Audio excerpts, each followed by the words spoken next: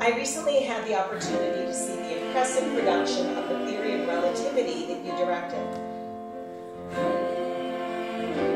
My hope is that each student will be inspired to continue to pursue careers in theater as they are off to a wonderful start under your guidance of Baldwin Wallace.